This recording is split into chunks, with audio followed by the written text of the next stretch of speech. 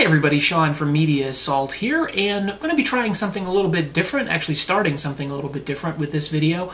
This is going to be a countdown to Star Trek Into Darkness marathon.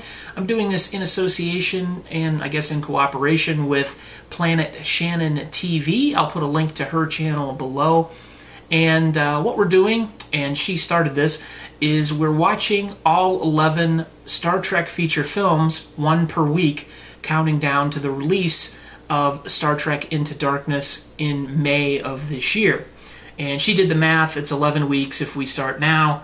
Um, so, uh, 11 weeks to the release of the uh, Star Trek Into Darkness film. So, if we watch one Star Trek feature film per week and do a video for it, we will get through all the feature films.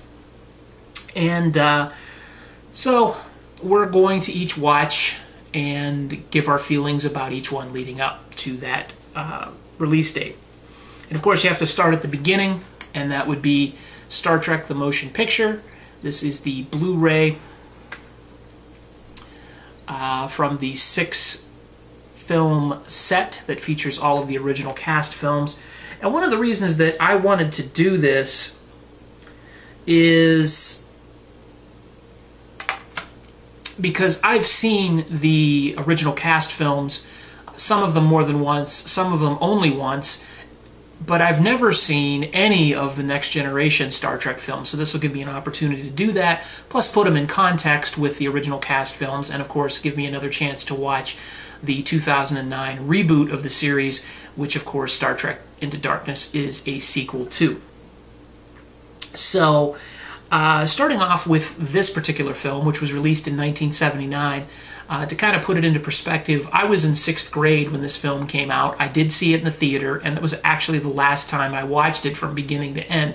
I've seen bits and pieces of it here and there over the years, but 33 years ago was the last time I sat down and watched Star Trek the Motion Picture from beginning to end and uh, this is not the director's cut, which was released a couple of years ago, I believe. I've never seen that, so any of my comments will be based on the original theatrical release and this Blu-ray release, which features that same cut. Um, and back then, the anticipation for this film was pretty huge. It was it was very hyped up. Now, of course, back then there was no internet. Uh, there was very limited entertainment outlets on TV. So most of the news that I got about this particular film was through um, magazines like Starlog or Famous Monsters of Filmland. Or there was another move, another one I believe. Um, oh, I can't remember the name of the other magazine I used to read all the time. It, it went out of print a long time ago. But anyway, excuse me. Um, so by the time the film came out, it, the anticipation was at a fever pitch. And everybody was expecting something along the lines of Star Wars because at that time, Star Wars had been out for two years. There, there was no Empire Strikes Back yet. Return of the Jedi was not even thought about. Um, and every studio was throwing their hat into the ring as far as coming up with these big budget sci-fi extravaganzas. You had Disney with the Black Hole, Paramount with Star Trek: The Motion Picture, Fox, of course, already had Star Wars. Um, so, and there were of course tons and tons of B movie ripoffs trying to cash in on the sci-fi craze back then. So going into the theater, I really wanted to see something great. I knew, of course, of Star Trek. Star Trek in reruns was something that I enjoyed a lot when I was growing up. Um, there was, of course, the animated series in the 70s, but everybody was clamoring for Star Trek to get back, you know, either on TV, well, basically back on TV, because no TV shows at that time had made the jump to motion pictures yet. Um, so this was going to be the the big return. Everybody was excited, not only that it was a big science fiction film, but it was Star Trek coming back, uh, something that fans had been asking for for 10 years, at least. Um, so, going into the theater, I had expectations, I had anticipation, and what I felt when I walked out was disappointment, um, boredom. uh, I just, I really was disappointed by this film. It looked good, and I'll talk about that a little bit, but um, from a pacing standpoint, this film was absolutely leaden. It moved like a snail, and it was just unbearably long for somebody like me who was in sixth grade at the time, and there was virtually no action in this film at all. And that led me to think it wasn't a very good movie. And it did the same thing for a lot of critics at the time. Although it made a lot of money for its time and was successful enough to spawn Star Trek II The Wrath of Khan, which of course I'll be, I'll be listening to, be watching next week, um, it was not a criti- critical success. And most people think about it kind of unkindly. Well, I sat down to watch it last night, and I actually found myself enjoying it quite a bit more than I thought I would.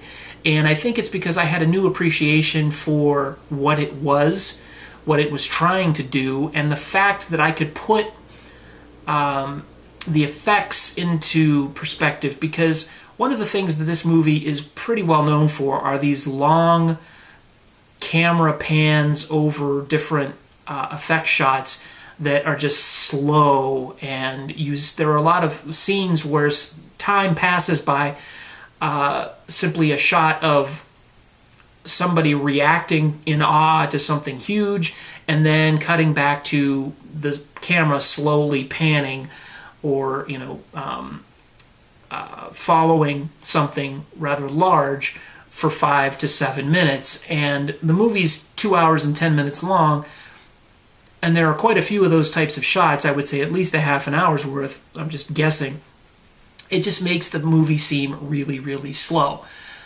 Today, it's easy to see why they did that because they wanted to emphasize A, the size of these spaceships that they're showing that previously had only been on a TV screen. Uh, and you can sort of tell that size is emphasized in this quite a bit. It's taking the compressed world of the TV show and blowing it up to full screen, or not full screen size, but widescreen size uh, so the sets are huge. The uh, the models, even though they're of course in reality small, they're made to look gigantic. So the camera will you know start at one end and go to the other. Um, something that Star Wars did first and and did it a little more uh, speedily, I guess. But there's just this emphasis on making everything as epic as possible. The score is appropriately epic and majestic sounding. Everything is like, hey, this is Star Trek. It's on the screen. Be happy. And don't worry about the fact that there's no action. Well, the reason there's no action is because Star Wars was an action fantasy sci-fi type film. It had dogfighting, you know, on the Death Star, and it had, you know, the the uh, lightsaber battles and everything. But that's what it was supposed to be. It was supposed to be a throwback to the old cliffhangers of the you know the movie serials from the 1930s and 40s. Star Trek was Star Trek, which was pretty much hardcore science fiction, and this story is pretty much hardcore science fiction. Even though uh, fans of the series, and I am not a huge Trekkie by any stretch of the imagination, but uh, I am aware of the fact that this is effectively just a remake of an old original series episode called The Changeling, and I won't spoil it if you haven't seen it. But uh, so the film remained true to its Star Trek roots and wasn't trying to necessarily appeal to the Star Wars crowd. It was trying to appeal to the Star Trek crowd, but it was the Star Wars crowd who went in hungry for another big budget epic, I think. And that's what was the flavor of the time being able to revisit that, it's easier to appreciate what it was trying to do. And even though it's not a great film, it's a lot better than I remembered it being. Uh, it was really nice to see the cast kind of slipping their characters back on for the first time in 10 years. And um, I remember when I saw the film in the theater, I thought it was hilarious. Well, not hilarious, but I thought it was just kind of shocking to see that, you know, Kirk and Spock and McCoy and Scotty and Chekov and Sulu had all aged and now I look back on it and go, wow, they look really young compared to what they looked like in later films. Um, because this series lasted for another 12 years. Um, I, just, I really was surprised by the fact that I enjoyed this movie as much as I did. So if I had to give it a rating, I would have to give it a 7 out of 10. Um, if you would have asked me before yesterday, before watching this film, I would have given it a 3 out of 10 because I thought it was a boring, dragging, just hulk of a movie that didn't go anywhere. But I actually appreciated it for what it is, which is a science fiction story that is allowed to breathe allowed the characters to get into their roles and allowed just everybody to kind of reacclimate themselves to this Star Trek universe on a widescreen, big screen scale. And I don't think any other episode or entry into the original six films at the beginning of this Star Trek series were given that opportunity to do that again because this was such a resounding critical failure. The next uh, five movies moved at quite a bit brisker, brisker, more brisk pace, and uh, they were just more like extended episodes of the TV show with some action elements rather than trying to be hardcore science fiction like this was attempting to do. So I was really surprised how much more I enjoyed this than I expected. Um, the Blu-ray actually looks very, very good. There were some weird um, artifacts and film thingies on it, but uh, not scratches so much. But uh, just at times the the picture looked odd, but uh, overall the transfer looks pretty good. But uh, stay tuned for my next entry into this countdown to Star Trek Into Darkness, which of course will be the highly acclaimed and uh, much better received Star Trek II The Wrath of Khan with Ricardo Montalban as Khan and all the original cast members back again. And uh, like I said, do check out Shannon's channel. I'll put the link below uh, and get her thoughts as well. And uh, please subscribe to her channel. She does a lot of interesting stuff on her channel, um, vlogs, and she does the, the sci-fi surprise series, and she does a lot of other things too. So check her out. I highly recommend her channel.